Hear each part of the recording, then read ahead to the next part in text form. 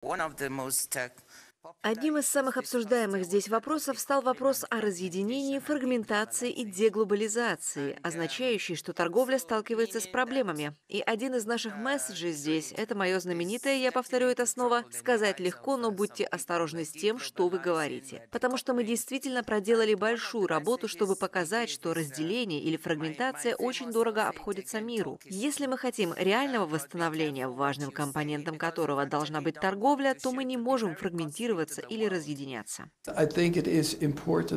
Думаю, что это важно для всего международного сотрудничества. Две крупнейшие экономики мира находятся в постоянном диалоге, а отмена по ковиду, вероятно, открывает радужные перспективы. Я вполне верю, что экономический рост будет сильнее в результате снятия коронавирусных ограничений.